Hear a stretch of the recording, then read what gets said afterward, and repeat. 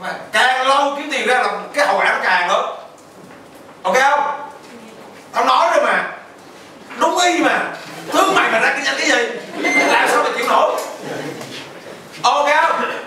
Thì cái người mà mới ra công nghiệp các bạn phải khôn ngoan, vô cùng khôn ngoan ở ở ngay chỗ đó các bạn.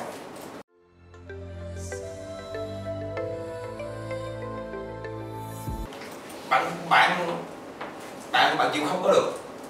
Nhức tài như lắm và mà bạn mà càng lâu, mà càng lâu kiếm tiền ra là cái hậu quả nó càng lớn.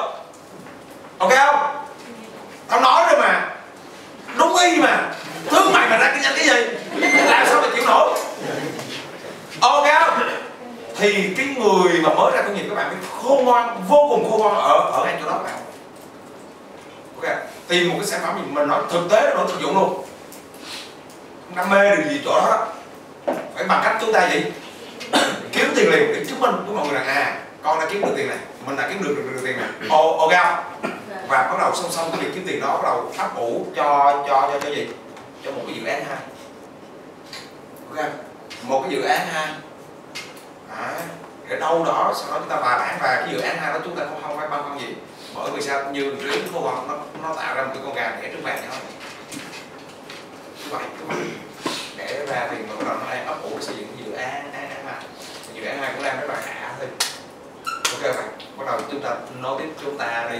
Và rất nhiều bạn ở trên các chương trình này cũng theo các chương trình mà tôi bán cứ dạy như vậy và các bạn đang làm từng bước rất là ngọt bạn từ ngọt lắm. Không có khó khăn như bao nhiêu người nghĩ đâu. Các bạn mà gặp những thế hệ trước họ khi nào là cơ, cơ, cơ, khởi nghiệp không phải là bức tranh màu vàng. Ok mà khởi nghiệp là màu nâu.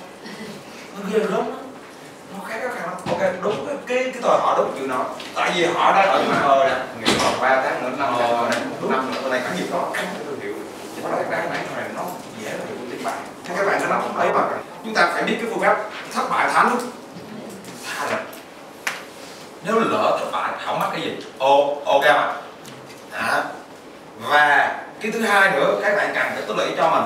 Đó là bắt đầu từ hôm nay các bạn nào mà muốn khởi nghiệp á là bạn về là phải cách ly với những người chống đối mình ồ ồ, ok không?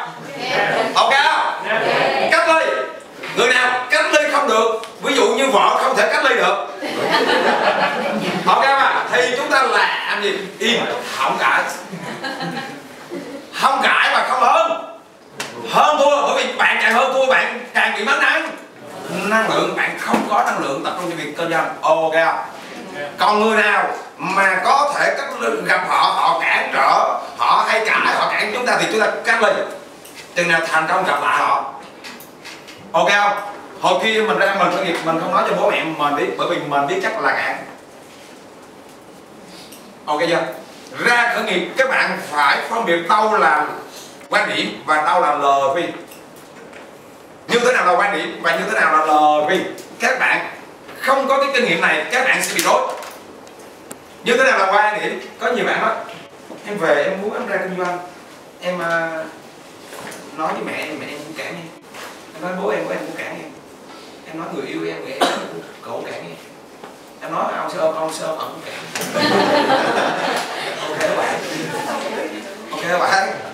Cái mình mình mình mới hỏi là mẹ em có ra kinh doanh ngày nào chưa? Chưa? Bố em kinh doanh có đang kinh doanh ngày nào chưa? Dạ chưa. Cái thằng người yêu của em nó có đang kinh doanh ngày nào chưa? Dạ chưa. Ok các bạn cái ông sơ có đang kinh doanh chưa? Vậy thì họ đang nói quan điểm hay họ đang đưa ra lời khuyên đúng rồi, đó chỉ là quan điểm. Mà quan điểm của một người chưa ra kinh kinh doanh vậy thì họ cản mình là đúng rồi. Họ có biết đâu mà họ biết bạn hiện ra được không lời khuyên, cái lời nói chỉ biến thành lời khuyên khi người đó đã làm được rồi và làm thành công rồi. Ok không?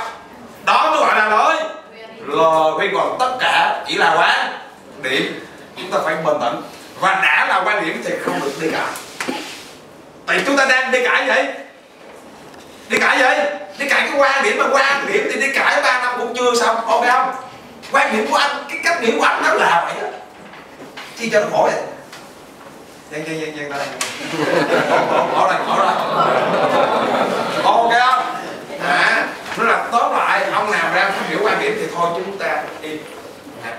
Tranh luận này ok không? Và chúng ta chỉ tìm những người đã kinh doanh được họ đã kinh doanh thành công chúng ta đó mới thực sự là những lợi. Quy ok không ạ? Các bạn có sẵn sàng như vậy không ạ? Ok chút xíu tối nay về liệt kê những bạn blacklist ok các bạn.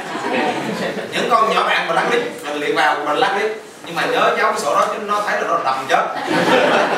Ok các bạn. Ok không à à dạ dạ dạ dạ dạ dạ dạ còn quá thú vị. Ok các bạn. Và và bây giờ chúng ta tham gia tiếp bài tập thứ hai. Các bạn có sẵn sàng?